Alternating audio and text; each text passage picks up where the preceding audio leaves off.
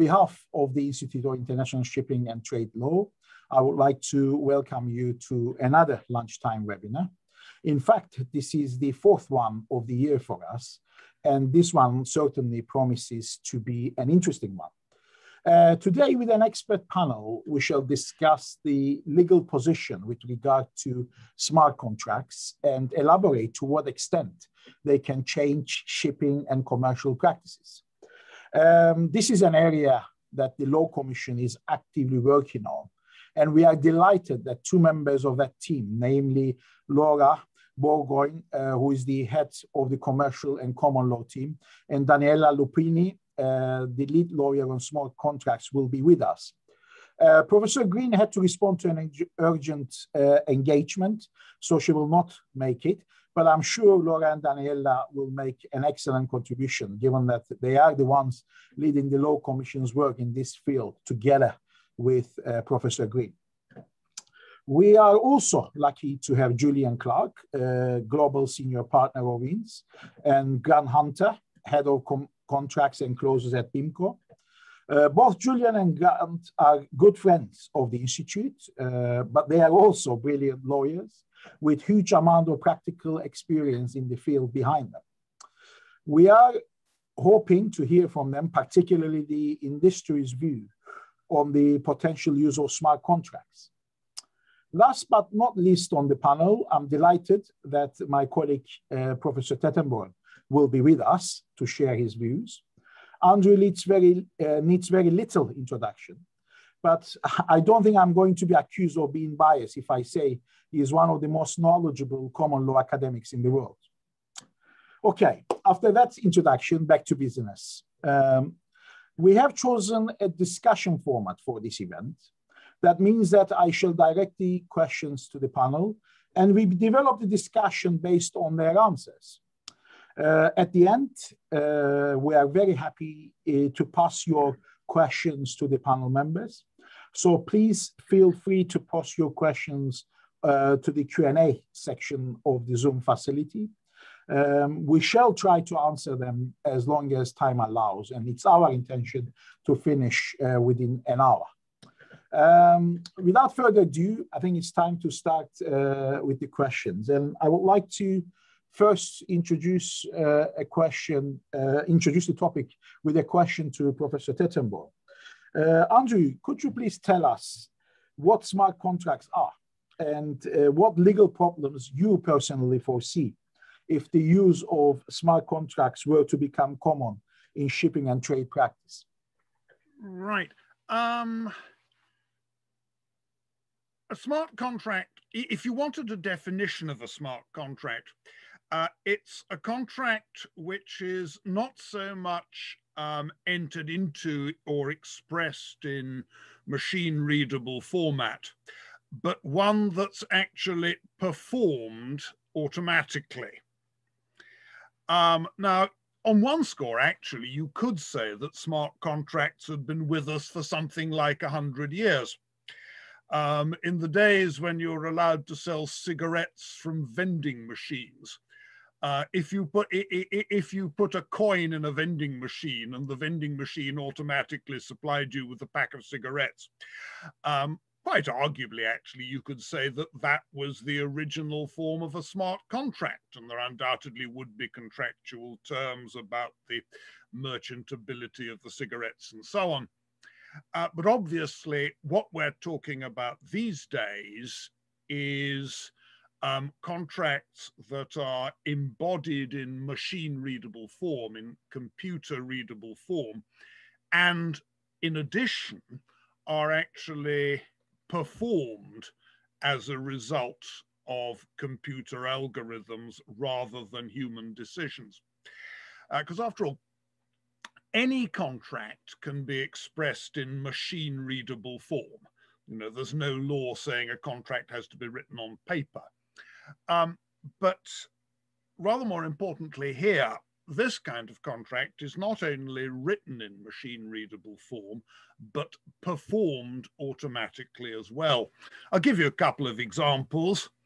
Uh, one will be very familiar to Baris, actually, as our insur- the guy who's forgotten more about insurance than the rest of us ever knew. Um, parametric insurance contracts. Um, so, for example, if you're about to fly off on holiday and you want to insure against your flight being cancelled because a new variety of COVID has arisen or something like that.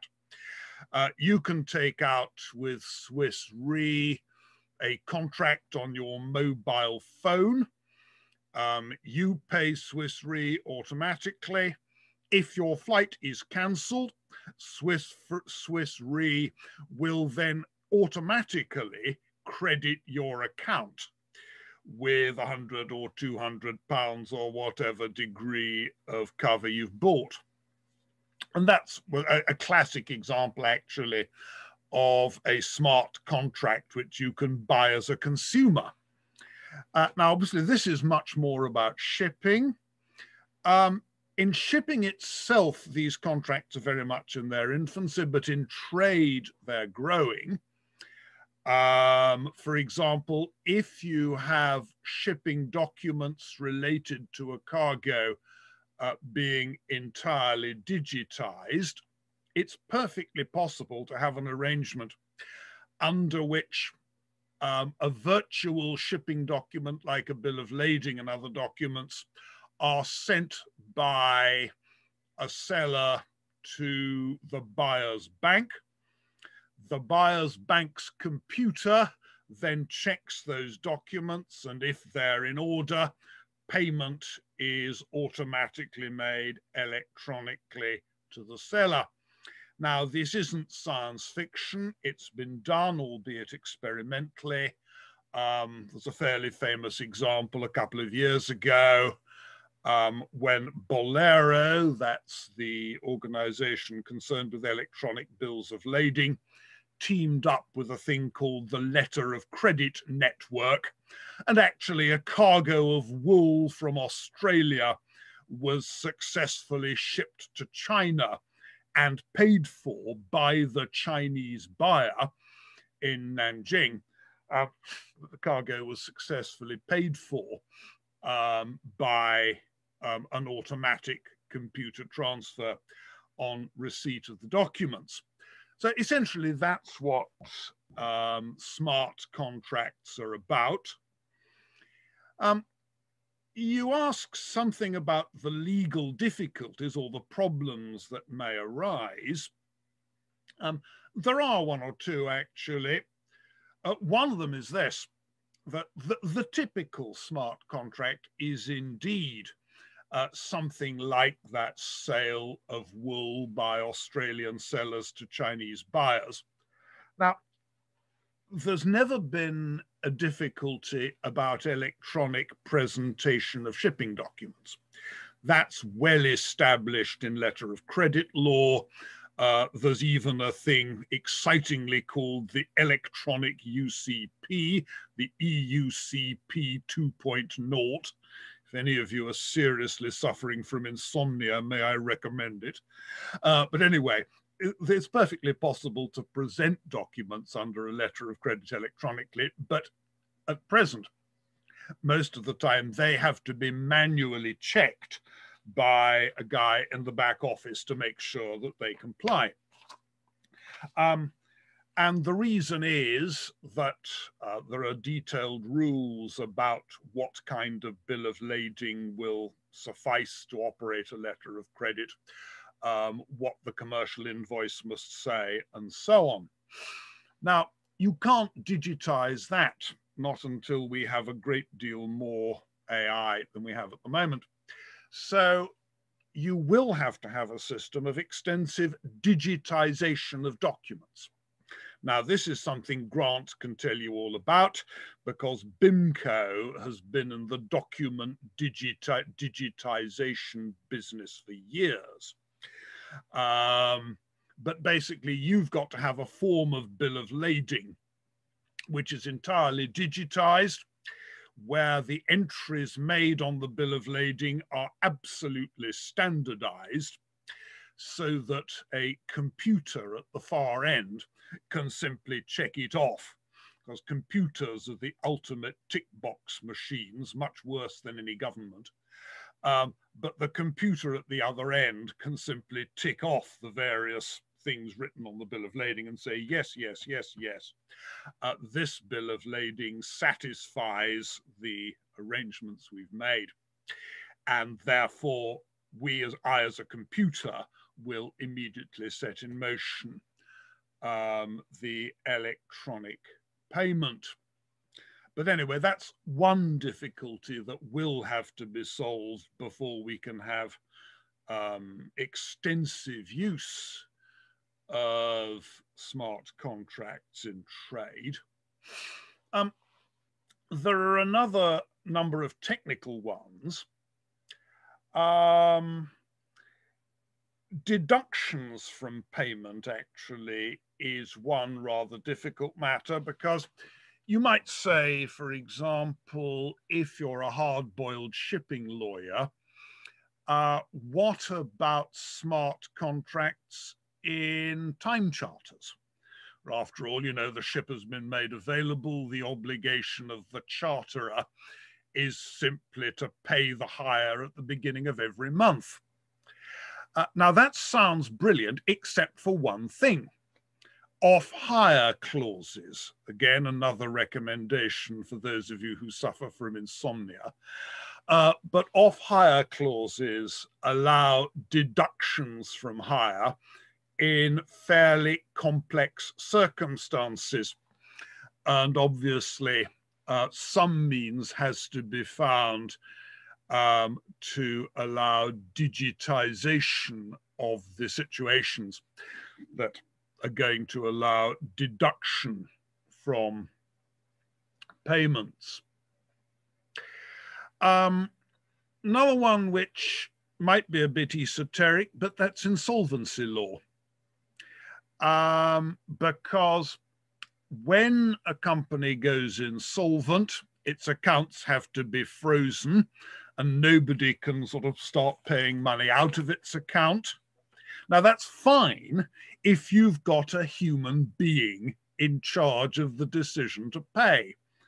The trouble is, if you've got an algorithm, uh, that makes life slightly difficult and you may have to do something about insolvency law to deal with matters like preferences or un unlawful disbursements of the insolvent's assets after the technical beginning of an insolvency.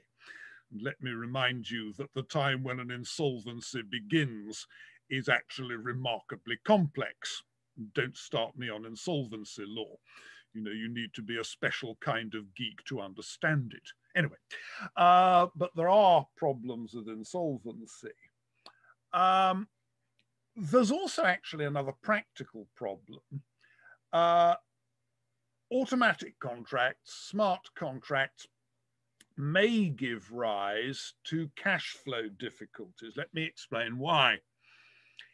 I agree to sell you goods and I send you bum goods. And it's fairly clear the goods are bum.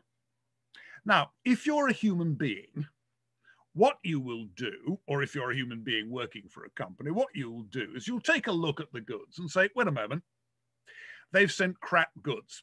Okay, we want them, but we're going to make a deduction we're going to make a deduction on the basis of a set off of what we estimate the other guy owes us. Now, that's actually very good for the buyer's cash flow uh, because it means he doesn't have to pay up front and then recover from the seller.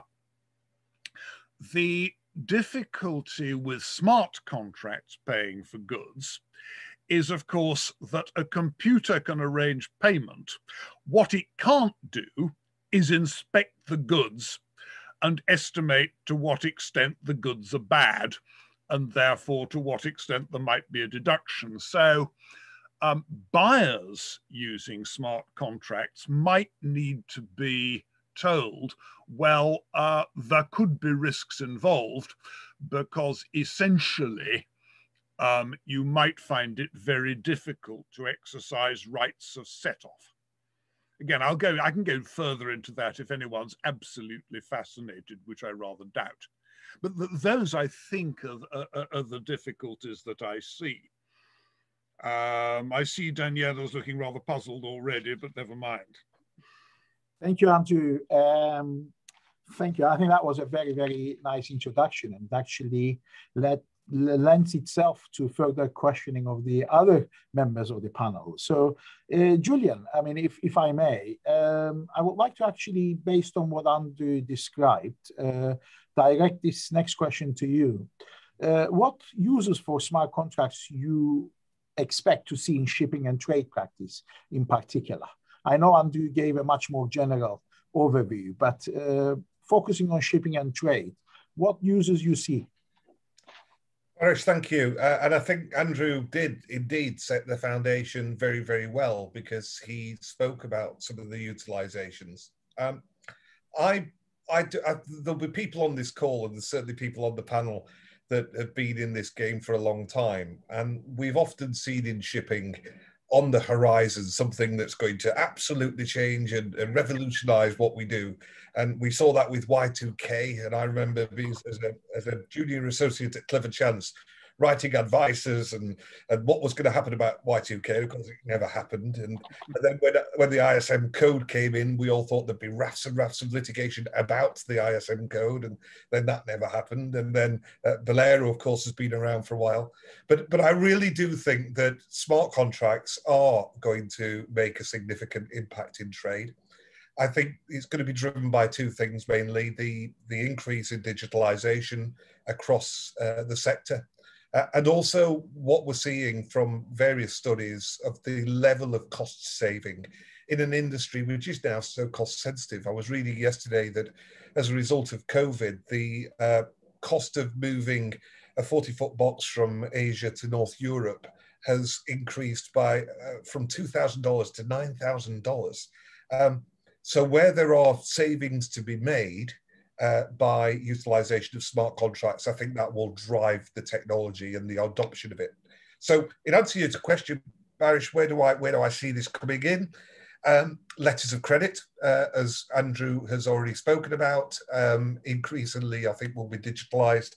Uh, bills of lading, I think, I think the the technology and the utilization of blockchain resolves what for years has been an issue with the, the adoption of electronic bills. Um, and we've struggled as an industry with electronic bills since 1855. Uh, I think now that what we'll see by the utilization of blockchain and bills of, and electronic bills is a true electronic bill uh, usage. Interesting that Andrew brought up uh, charter parties. I had a little note for myself saying, well, why not digitalize a time charter? Uh, and Andrew, of course, is completely correct when he when he talks about the issues with smart contracts and deductions, and what do you do about uh, off hire. But here's one to throw back to Andrew. What if I use uh, Internet of Things technology so that I have sensors that, for example, identify if there's been an engine breakdown, and I tie that into my smart contract. So what I do is I, I really start to look at my off hire clauses to look at events, and, and, let's do this in voyage charter context as well to make it really exciting and sexy. Uh, let's look at things like rain days or when hatches are opened or closed. And I use uh, security cameras and Internet of Things sensors to say when it's raining. So we automate all that. I agree, nowhere near the degree of certainty, if that's right, because if it was right, as lawyers, we wouldn't have a job to do, of, of a human interface. But if there's a saving in cost because we've digitalized off hire, we've digitalized demurrage, will people care? So I think we will potentially see, uh, perhaps the technology isn't quite there to do this, but a complete digitalization of, of uh, charter contracts. And then again, Andrew was quite right again when he said where you've really seen this take take off more than pure shipping is in the field of trade. And in the field of trade, you see the utilization straight away. So inventory and distribution management, real-time cargo tracking, um, more uh, efficient management of logistics operations, uh, And then if you look at the uh, the system that Bunker Trace have introduced, um, tracking of bunkers, both for uh, verification of uh, origin and supply chain, so dealing with sanctions issues, uh, and then very cleverly, which still amazes and fascinates me, the fact that you can now uh, digitally tag uh, a bunker fuel. So you, you, can actually trace not only its uh, legal title and origin, but also look into whether or not there's been any admixing, any contamination by DNA tagging. Um, and if you take that example that Bunker Trace have, have already, you know, got, got effectively on the market uh, for bunkers, uh, look at all the issues that we've had in the industry in relation to transportation and casualties as the result of carriage of dangerous goods. And will we see dangerous goods uh, being uh, carried in accordance with smart contracts so as to again deploy Internet of Things technology uh, to look at temperature changes in dangerous goods, qualities of dangerous goods, uh, identification and verification of uh, dangerous goods. So I think there is a huge area uh, of opportunity for the uh, adoption of smart contracts within the shipping industry.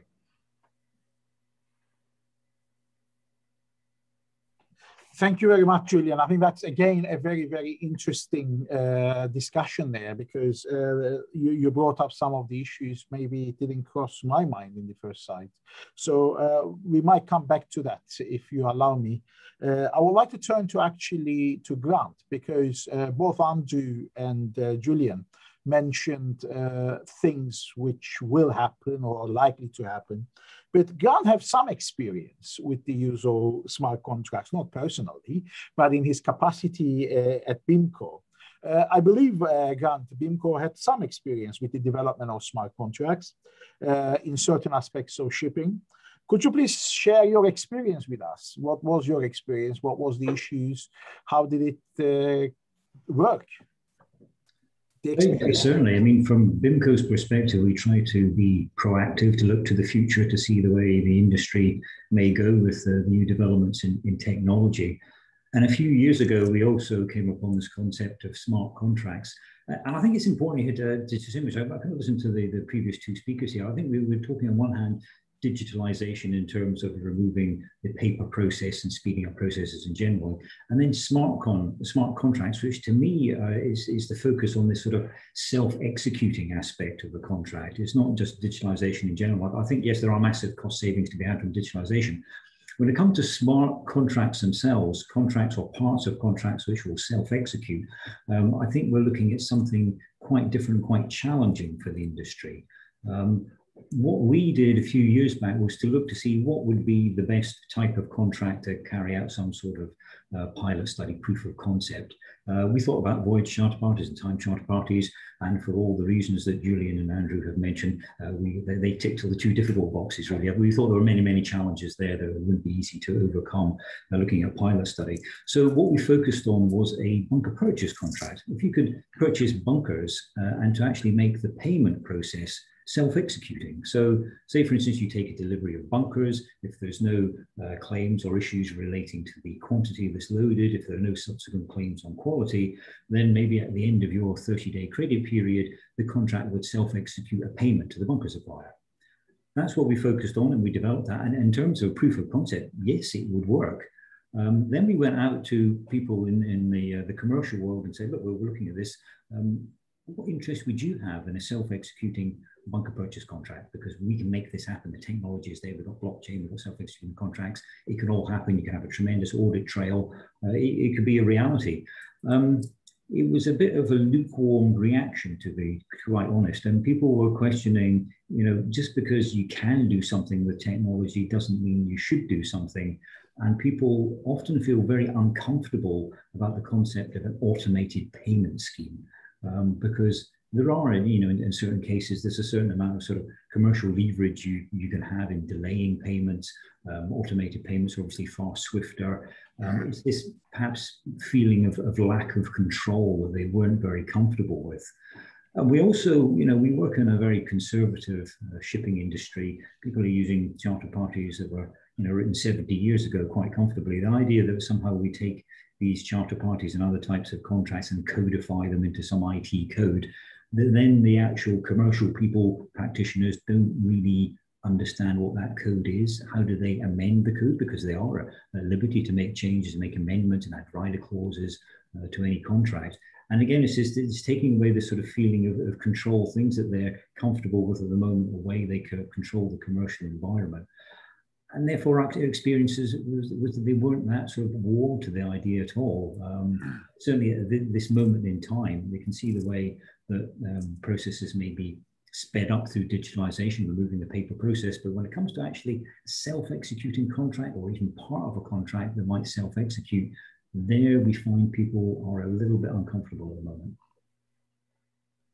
Thank you, Grant. Um, so basically, Andrew laid the foundations, Julian raised our expectations, uh, some dose of reality uh, or warning from Grant. Uh, that now let's get the real dose of reality from the Law Commission. Uh, Grant, sorry, you, you wanted to. I just wanted to say last thing. I don't I want to like cast a sort of negative thing. I'll be very cynical about this. But I can share with you an experience of a smart contract I had today. I went to park my car and I used an app that basically links you to a private parking space here in London.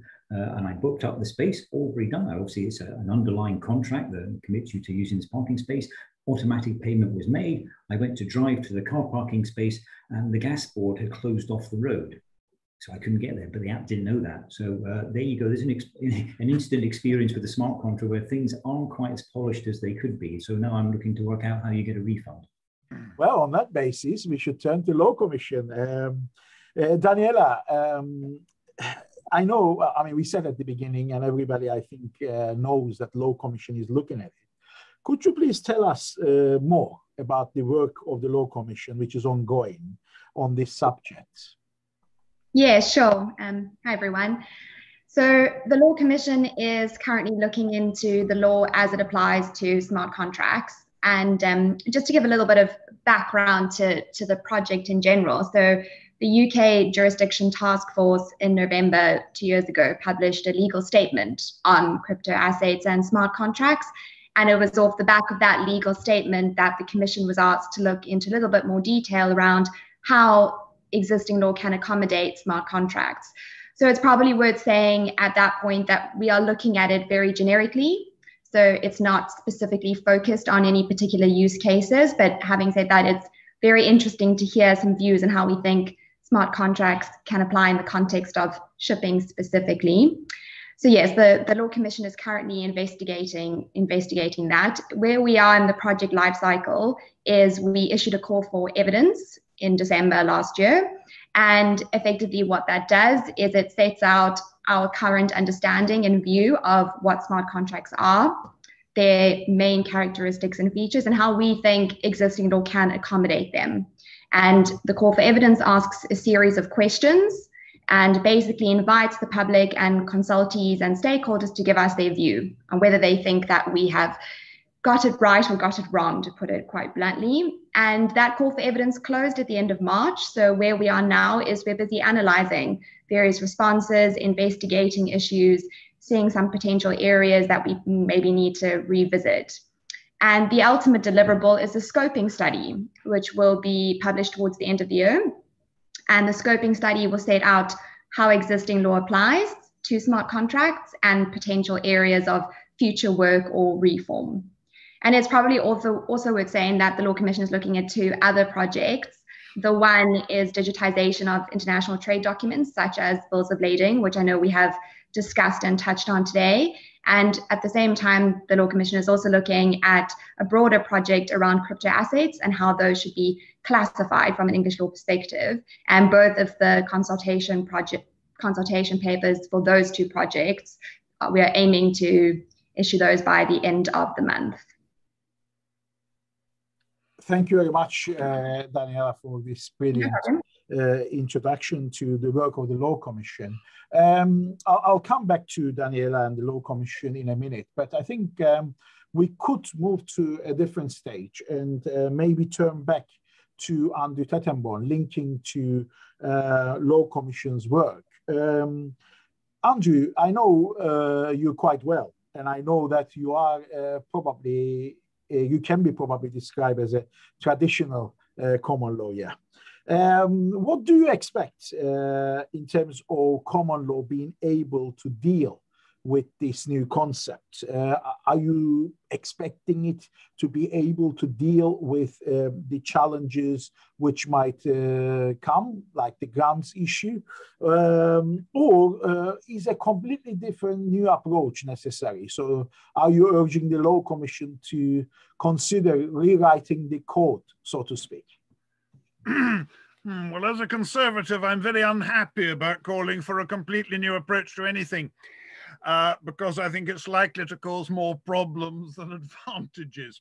Now, my general feeling actually is that the common law overall is pretty capable of dealing with contracts that are self-performing.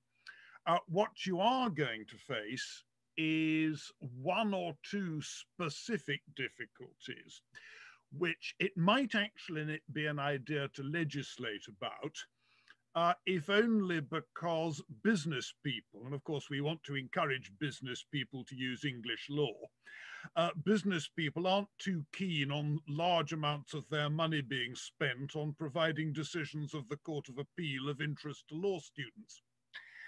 Um, and there are a number of things which may need to be sorted out. One is a simple one. Um, You've got issues like, for example, payment by mistake. Can a machine make a mistake?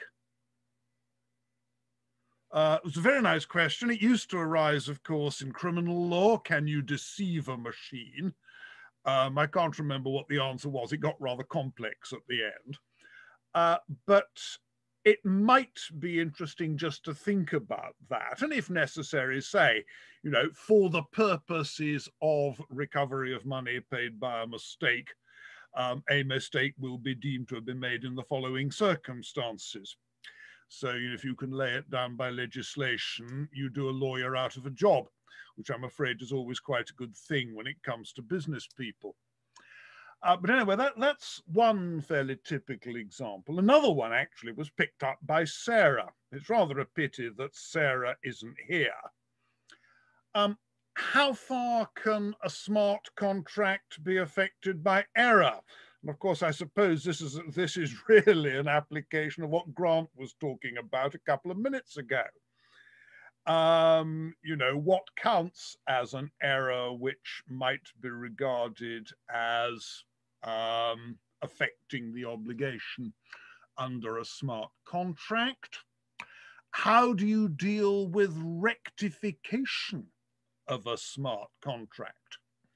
Now, that's something which is getting all sorts of obligations lawyers very excited at the moment um, because the Court of Appeal has just said effectively it believes the House of Lords didn't know what it was talking about uh, when it talked about the requirements for rectification. If you want details, I'll give you those later. But anyway, uh, that again is something which you might care to think about um, in dealing with uh, smart contracts. And I'll just I'll just uh, bowl you another googly, if I'm allowed to use old-fashioned cricket terms, unlike, unlike the England Cricket Board, which wants to modernize everything. Um, there are quite detailed rules in the Insurance Act about what counts as knowledge by an insurance company of particular facts um, and how far that affects the duty of fair presentation and what amounts for that matter to knowledge by the assured. Um, googly for you, what is the status of knowledge by an algorithm? Do you treat the algorithm as if it was the janitor whose knowledge doesn't count, or as if it was the CEO whose knowledge does? I'm not quite sure what the answer is, um, I'm tempted to say it's up to you clever people at the Law Commission to work one out. But it is, it seems to me, the sort of thing that would be worth thinking about. Anyway, those are just a number of examples of, of things where I think uh, a closer look might be a good idea. Thank you, Andrew. As provocative as, as ever. Um, I, I, think, uh, Julian, I mean, uh, maybe I can throw a googly as well to you uh, in terms of um, your enthusiasm with regard to smart contracts. Um, I know that your firm and yourself work a lot in, in cyber uh, risks, um, you know, uh, particularly for the shipping sector. Do you think that the cyber risks um, could potentially delay the development and use of smart contracts, uh, particularly in shipping contexts? Um, I'm going to give an unusual answer for me, I think. Uh, you know, Baris, uh, cyber risk in shipping is the thing that keeps me awake at night. Uh, and, and, we've, we've spoken about that a lot. But actually, in, in answer to that question, my answer is no. Uh, it's the one area where I don't think cyber at risk will slow down the adoption of smart contracts. I think what will slow down the adoption of smart contracts is more the issues that Grant and Andrew have outlined. Um, and, and the reason I say that is because if the drivers to adopt smart contracts in relation to potentially reducing disputes because of auto, automation um, and I accept what Grant says about that. About that, that's a very difficult thing to get commercial parties to accept. But if you could get to that, and that does result in uh, commerciality, so savings in time and cost, and and um, uh, sadly for me uh, and the other lawyers on the call, it, it reduces the need and use for lawyers. I can see that that will be the driver, and that that that that momentum will outpace the risk of cyber. Um, now, I'm not, when I'm saying that, don't don't don't for a minute um, think that I'm saying I don't think there is a cyber risk in relation to smart contracts. I think I think there is. There's a, there's a significant risk. Um, we we've seen examples of uh, hackers looking at uh, affecting and uh, trying to hack into code.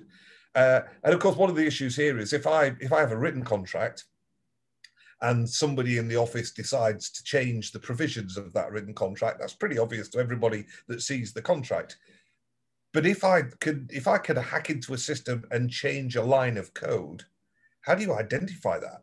Um, and especially now that you have um, hackers that can deploy malware that can uh, do its job, go in and change a code, change a function, but then effectively delete itself from the system that does create huge, huge problems. So I, I think I, I, don't think that cyber risk itself will slow down the adoption, but I think it's something that the industry will have to move to address um, because the, the risk is certainly going to be there.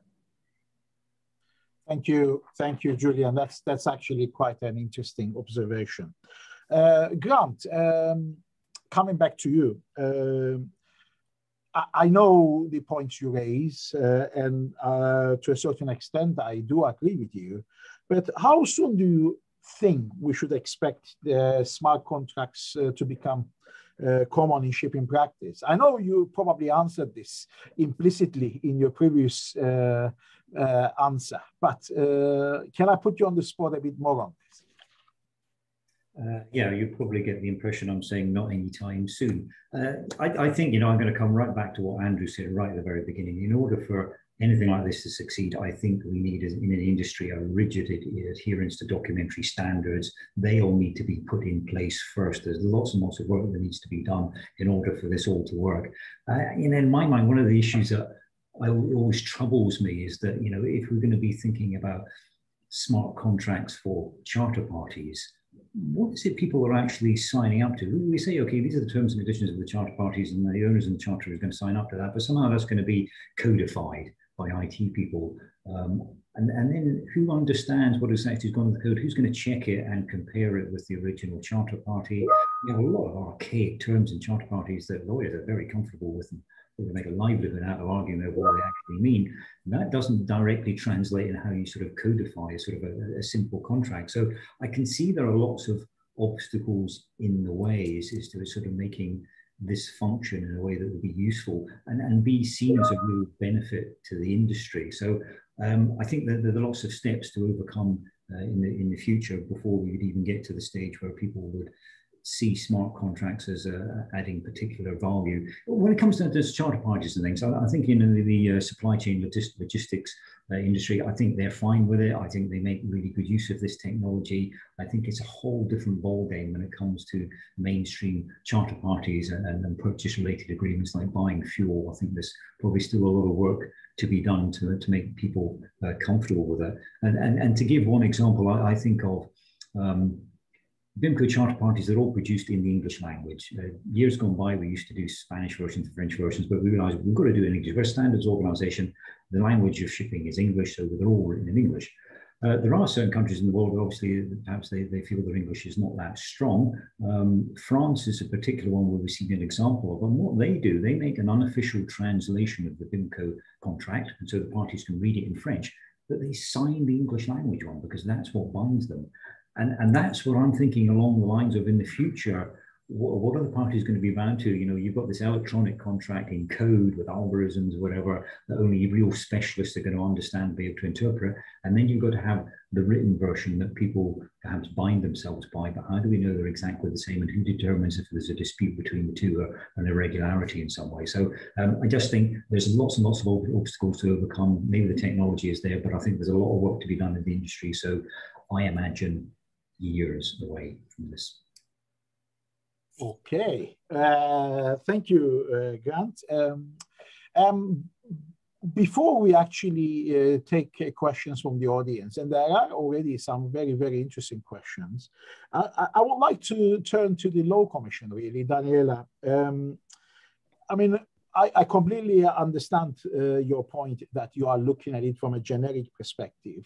But today you had an opportunity to hear some of the issues, concerns, hopes of the shipping sector. Have you heard anything today uh, concerning the shipping law and potential uses of smart contracts in shipping? context, which you hadn't heard before uh, when you started the project. Um, so, um, a general question, really. Uh, have you been surprised with anything, basically, you heard today? So, so thanks for your question, and I, I think I will answer, but I'd like to just say a few things in response to what's been discussed by Andrew, Julian, and, and Grant before I do so. So, if that's okay. Um, so, I think what's quite important when we talk about smart contracts, what we need to think about is, and I think this is something Grant also trust, uh, touched on, is differentiating smart contracts from other technology that can enable its use. So, when Andrew was talking about digitization of documents and how that may affect the uptake of smart contracts because you may need to have certain standard terms incorporated or digitized documents so that the contract you, everyone's you know the, the computer program is, is reading the same the same language. That is that is all true but i think you know those are other technologies and progresses that need to be made to be able to support smart contracts as opposed to really looking at the smart contract technology itself and what that does and that brings me to another point that we need to think about. Smart contracts can take a variety of different forms.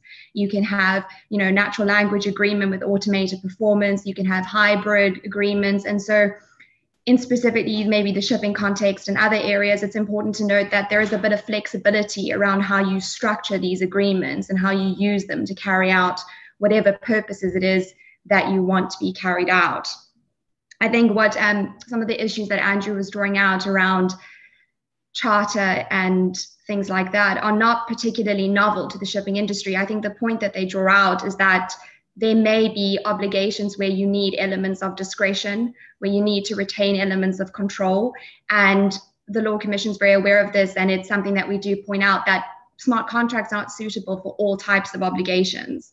So it's very important that you understand what they should be used for and it's very you know conditional obligations where the logic is quite simple and potentially even quite rudimentary in the beginning. So you it's not the position that you should necessarily use smart contracts for all kinds of obligations. So if it's not fit for purpose you know there's no reason to displace the conventional contract. So I think as, back to your question, in this, did I hear anything today specifically in the shipping industry? I don't think so. The, the same issues arise across the board when it when it comes to the use of smart contracts, and there's a lot to think about. So some of the issues around mistake and rectification and errors in code, these these come up, and these are issues that the Law Commission is is currently looking at and seeing how do we apply existing legal principles to these very difficult questions. And it's also worth saying that unlike quite a few of unlike most of the Law Commission projects, we're not proposing any reform. So that might um, make Andrew feel a bit more comfortable. This is very much a scoping study just to sort of see how we think existing law can accommodate smart contracts, but there's no actual proposals for reform yet in this in the scoping study itself. Thank you, Daniela. That's that's very very helpful. Thank you very much. Um, when I decided to uh, chair this event, I thought it would be very easy, really, because you know all I have to do is to direct questions to people, and the uh, panel will do the job. But now, looking at the questions, I'm realizing that it's actually probably a bit more difficult than I initially thought it would be because there are very, very interesting questions coming. And of course, we got about 13 minutes. Uh, we have to try to answer as many as possible. Um, so I am going to choose some of these questions because I think they are very, very good questions uh, and certainly will enhance the debate. Um, the first question is to Andrew. Uh, Philip put a number of questions, but this one is actually quite a good starting point. Um, he says, with increasing qua uh, quality, quantity of uh, IE, we will probably have to establish a legal concept of uh, AE, sorry, artificial intelligence entity, which is distinguishable from legal uh, and private person. This could address some of the conceptual issues behind self-learning and self-determining code. Uh, what, what is your views of uh, the prospect of establishing a new personality for artificial intelligence, Andrew? That actually is a very good question, Philip. Um, I've thought about this, and frankly, I don't think I, I, I think that's a, a, rabbit hole we shouldn't go down. Uh, let me let, uh, uh, let me explain why. Um, I don't think that there's any real advantage in regarding AI as in any way entitled to separate legal personality. What there is, is a need to consider how, and it comes back to what I said earlier, how far an artificially intelligent machine can be mistaken how far an artificially intelligent machine can be negligent, uh, because actually that's a very that's a very difficult problem. Because as it is, if a human being does something stupid, you can sue the bastard. Uh, if a machine does something stupid, then provided that the human being who programmed it didn't do anything stupid, you can't sue the bastard. And that actually is one of the problems that we're going to have to think about. So um, I know the European Parliament had the bright idea of saying that AI ought to have some kind of legal personality. Um, I'm happy to be convinced, but I haven't been convinced yet, and I think I will take some convincing. That probably won't satisfy you, but you, I'm very happy to try again if you, if you have a further question. Thank you, Andrew. If you know Andrew as much as I do, that's probably the dumbest statement he can give. Uh, you know, uh, dumb in the sense that you know it's a no-go area. That's what he's saying, basically, in a very polite way. Um, Julian, if, if you don't mind, I would like to, uh, sorry, actually, Grant probably would be better to take this one. Uh, Elias asks a question. What would the parties need to trust highly specialized coders to form the smart contracts? Shall the industry trust uh, from lawyers to coders, or shall they rely on both? A legal contract for purposes for legal purposes and the smart contract just effectuating performance question mark it's a very interesting question. Uh, what I'd like you to do is trust BIMCO because I think this all uh, circles around the fact we need standards in the industry in the same way that for over 100 years BIMCO is producing standard contracts and standard clauses in writing on bits of paper. I see no reason if the demand arrived in a few years for smart contracts to be developed or parts of smart contracts, particular provisions within the contract, that we wouldn't also develop those as building blocks for a, a contract. But I think you need to have some sort of standardization of this. I think it will be a backward step if we went from having well-used written standard contracts of the industry to somehow individual IT people developing contracts together with specialized lawyers or whatever. We're just creating more work. That, that isn't the point of all this. We're meant to be sort of speeding up and making things more efficient. So I think we need to look to organizations to develop contracts at the moment and see how they could work to develop standards uh, for a digitized world where we could look at smart contracts there as well. So I think we would be looking in the future, perhaps ourselves think about build, creating these building blocks because again, how do you deal with the issue of that? You know, if you want to, you know, make an amendment to one of these these uh, written pieces of code for part of a contract or a charter party, I think it all starts to get very complex. And if you're starting from scratch and all other companies are also developing their own smart contracts, I don't think we've helped the industry at all. So I think it all comes back again, standardizing, standardizing this process as much as possible and not leaving it some sort of freelance uh, thing being done by all sorts of different people around the world. Thank you, Grant. That's that's very interesting. Um, uh, Julian, uh, I was threatening earlier, but I think this one is definitely right up your alley.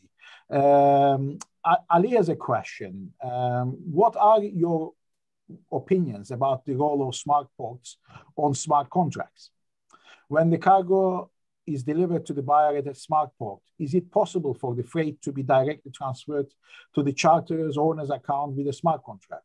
If that's possible, could smart ports be the center or control mechanism of smart contracts for maritime trade? That, that's that's a fantastic question. Um, let me think about that. I'm still struggling, thanks to Andrew, with the concept of the reasonable AI on the automated Clapham omnibus. Uh, so, uh, um, but um, yeah, I, I, th- I, think I think you're exactly right to link smart smart port, ports with smart contracts because um, you know what we're talking about that the benefit if we do get there uh, and when, whether we get there you know in years or if we, if we get there in a shorter time the the driver for it will be uh, efficiency. Um, and so a smart contract in isolation on its own okay, but a smart contract that's linking into a logistical system that's actually linking into a smart port, yeah, I, I, think I think that is going to be something. But I think Daniela actually hit the nail on the head when she was speaking about this, and effectively, it's a horses for courses approach. You know, we're not. I don't think any of us are saying, and I also totally agree with Grant what he said about standardisation is is the only way forward for proper application of smart contracts in the maritime sector is that we're not saying that there'll be a smart contract for every single part of the logistical chain. Uh, we'll we'll apply smart contracts uh, at point at, at positions where they can simplify, speed up, take away the level of disputes in the process. And for me, what I think we'll see is a hybrid uh, between the utilization of smart contracts and written contracts. We're certainly not seeing the extinction extinction of written contracts. So my, my answer is yes. I think uh, uh, the, to link smart ports to smart contracts is is is a very clever idea. Uh, Julian, uh, since you are still here uh, um, and I haven't passed on to anybody, Simon, my colleague from the Institute uh, of Shipping and Trade Law, has a question which probably uh, should come to you as well. Uh, which, with, with, will digitalization of relevant data, which Julian alluded to, together with demurrage calculation software, which already exists, bring an end to disputes about submission of documents and claims within 90-day frame commonly specified in voyage charters? Or will it lead to a reduction in the submission uh, time specified in those charters? Uh, Grant, I mean, uh, after Julian, very happy if you want to take this one as well. I, I think there is scope for this. I think there there is scope for using um, technology to eradicate some of the more um, regular small claims that you know no longer cost effective to take them through a legal dispute process. If we could speed some of those up, uh, I think there is there is a way to do. I think there is a benefit of doing that. So um, yeah, I think there is an application. But again, I'm interested to see what Grant's view. Yeah, thanks, Julian. I'll probably take a slightly different angle on this. And I think we've got to see um, what we're talking about today in the much larger context that what the industry is driving towards is much greater efficiency, shipping efficiency, port efficiency, and it would be nice to think that in the future, claims re relating to demurrage will perhaps diminish purely because we have a more efficient shipping industry, and therefore the lay time allocated is exactly what's used, and then the ship sails, uh, and we don't have these demurrage issues. So I think things are evolving, and lots of things may hopefully change in the future. Uh, I accept the fact that the, the, technology can be used to take away the more sort of labor-intensive and simpler administrative processes, and hopefully, um, you know, deal with more minor disputes. But I, would like to think that the general push and drive of the industry that we're seeing at the moment towards greater digitalization would actually reduce that type of dispute over demurrage in the first place anyway. We'd see less and less of it in the future. Thank you. Um, uh, Daniela, uh, there is a question. Maybe uh, I, I, don't expect you to sort of uh, have a firm view on it, but uh, a question again from Philip, uh, essentially saying, will the use of smart contracts in the future render the courts redundant, particularly lower courts, in terms of the disputes they involve? thanks for the question. Um, my short answer would be I don't, no, I don't think so. I think that decisions made by courts are prime examples of obligations or outcomes that we should not really be automating. They involve discretion and a variety of different inputs and considerations that a machine would just not be capable of making. So no, I don't I don't see that happening. Thank you. Thank you. Um, there was a question actually, maybe uh, I, I, go back to uh, Andrew on this one uh, from Darius. Um, he he says well he wants to direct to all panelists, but uh, I direct to Andrew. But if anybody else wants to uh, chip in, by all means. Um, what do you think about the recent post office managers uh, issue? Could that offer a warning of what can go with machines? Uh, he says the managers have been accused of theft or fraud, if I remember correctly, whereas it was the machine program which had been wrong. Well, I think it's. I I I, think uh, you certainly have to be very careful over that, um, and it comes back to the fact that there are certain things that machines can't do, and we have to be quite careful to keep them out keep them out of those areas. Um, the classic example actually was, was one that came up from a point made by Julian earlier on off-hire clauses. Because um, Julian says, oh, well, we can just make it much simpler. Um, you know, you have the Internet of Things to see when, when something went wrong and when it was put right. Now, that's, of course, okay for some off-hire clauses, but not for others. Uh, if the off hire clause simply takes the ship off hire until a particular defect is repaired, which is the standard with, for example, BP time or the oil time charter parties, that's easy. If it's an off hire clause that calls for quite detailed questions of causation as to how much loss of use was caused by the difficulty, then actually I think it's going to be very much more difficult to get the machine to work that out. And how about if it is a catch-all provision uh, in the off-hire clause? Any other clause uh, affecting the full working of the vessel, for example? Oh, it is, but I mean, so, so, some clause, some clauses do depend on questions of causation, and some don't. And causation actually is bloody difficult, even for the sort of up-to-date AI software that we've got these days. Uh, it may learn. AI software can now write music in the style of Mozart.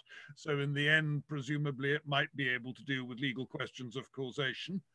Uh, but I doubt if it's there yet. Um, so I, I, I think, yes, Baris is right. You've got to be very careful about the decisions that you entrust to machines. Thank you. Um, I'm cautious all the time, but uh, would like to offer to all the panel members uh, a chance if they want to add anything, uh, starting uh, from Grant because uh, he's on the left part of my screen. Uh, Grant, any any further observations after what you heard? What you heard? Yeah, and I actually, just to pick up on what Andrew was talking about there, I mean, it's it's fair enough, you know, that technology and computers can help in the decision-making process, but there are certain decisions I think for a long time need to rest with human beings. And I, I think a good example is perhaps um, with, with war risks and piracy clauses that we have in charter parties that were dependent upon a master's subjective assessment of if there is a danger to his vessel and crew that may not be the same for you know another type of ship just a, you know half a mile away. So these are very difficult things for a machine to assess, no matter how many sensors there are. It's this sort of subjective assessment of, of risk that I think we're still quite some way away from, um, and, and I think we still need that sort of human element because it's, it plays out in the contract itself, but it's not something that lends itself to just a simple application of technology. I think it's something that assists in a decision, um, but it can't be the final uh, deciding factor. Thank you, uh, Grant. Uh, Julian, anything you would like to add?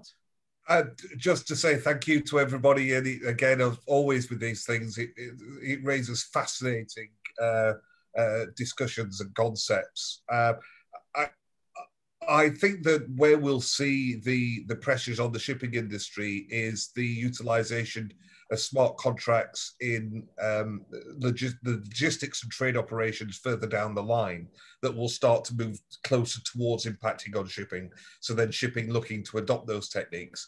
Um, so I think it's something that we will see coming. Uh, but I, I do te- I do tend to agree with Grant. You know, it's it's not something that's good to be immediate, and certainly we're not getting to the position that we're uh, eradicating the importance and the role of the human being in all of this. Thank goodness. And I think that's a relief to Grant as well, given that he is the head of clauses uh, at BIMCO, that you're still in job, Grant, for a few more years, I think.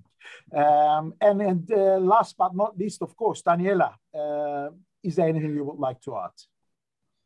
Thanks. Um, I'd probably like to just add that where I think smart contracts may be most utilized is, a, is in a hybrid context. So where you have a mixture of natural language and code and depends on the certain obligations and therefore people can get the best of both worlds in that sense rather than having to pick one one or other forms i think that would be an interesting space to watch um, and just to, just to mention if anyone is interested i mean that the singapore i think it was court of appeal did um, decide a case on this last year, which dealt specifically with looking at issues of mistake and unilateral mistake and, and common mistake in the context of um, algorithm trading on a cryptocurrency exchange. So if anyone is interested, there is um, quite a leading case on that, which is just an interesting read. So.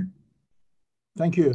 Thank, you. you. That, that, that was definitely an interesting. It was Singapore uh, case, uh, that one, wasn't yes. it? Uh, and yes. I, I, think they were buying. Uh, I think the machine made a mistake, so they sold very cheap, uh, cheaply the uh, currencies. Yes. The, the, algorithms were programmed in such a way to, to the offers and buys, and they were triggered, and they tried to reverse the transaction. So, based the argument raised was really around mistake and how that applied in that specific context, in the context of automated performance. So it's quite on point for some of the points we've raised today.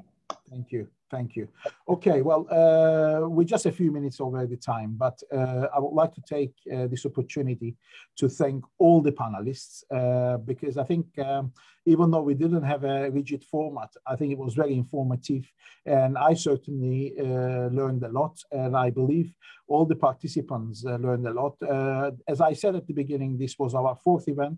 There's a fifth one coming in May on multimodal transport, air transport, uh, all sorts of stuff, more bread and butter of shipping. Uh, so we would like to see you there uh, in May.